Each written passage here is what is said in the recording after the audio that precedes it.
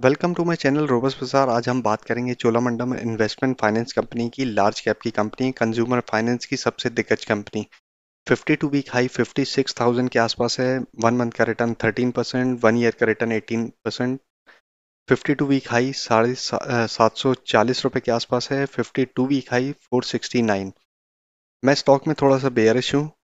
एक major support मुझे दिखाई दे रहा है चार्ट में। 686 का। फ़िलहाल की डेट में चोलामंडलम खड़ा है 686 के आसपास ही। मेजर सपोर्ट है 686 का। अगर कल गैप डाउन ओपनिंग होती है 8 अप्रैल को, गैप डाउन ओपनिंग होती है तो ये नीचे जा सकता है स्टॉक। 677 का फ़र्स्ट डाउनसाइड टारगेट है, फिर उसके बाद एक और डाउनसाइड टारगेट मुझे दिखाई दे रहा है छः सौ का। थर्ड टारगेट 644 का। मुझे ऐसा लगता है स्टॉक बेरिश है। स्टॉक में काफ़ी बेयर हावी हैं। अगर स्टॉक में कुछ अपसाइड मोमेंटम बनती है तो एक स्टॉक में अपसाइड मोमेंटम बन सकती है 698 की।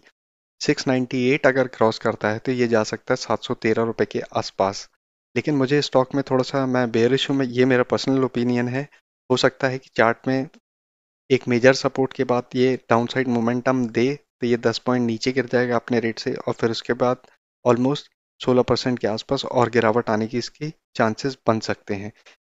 तो बी केयरफुल अगर आप स्टॉक में इन्वेस्ट करने वाले हैं तो प्लीज़ मेरे, मेरी सलाह है कि कुछ कुछ समय स्टॉक में थोड़ा सा होल्ड कर लीजिए, किसी दूसरे स्टॉक को ढूंढिए। इस स्टॉक में थोड़ा सा अनस्टेबिलिटी है कुछ टाइम के लिए, लेकिन स्टॉक बहुत फंडामेंटली बहुत स्ट्रांग है। कंज्यूमर फाइनेंस का बहुत बेहतरीन स्टॉक है। जिन लोगों ने इसको अगर छः महीने, एक साल पहले भी अगर लिया होता तो काफ़ी पैसा छापा होता। मुझे ऐसा लगता है कि स्टॉक में अगर जो इन्वेस्टर्स ऑलरेडी निवेश करे हुए हैं वो आराम से रुक सकते हैं लॉन्ग टर्म के लिए। लेकिन जो इंट्राडे या कुछ शॉर्ट टर्म के लिए ट्रेड लेने वाले हैं तो मुझे ऐसा लगता है कि इसमें डाउन साइड का मोमेंटम कुछ ज़्यादा बन रहा है। ये मेरा पर्सनल व्यू है। आप अपना पैसा है, आप सोच समझ के इसमें इन्वेस्ट करिएगा। Thank you so much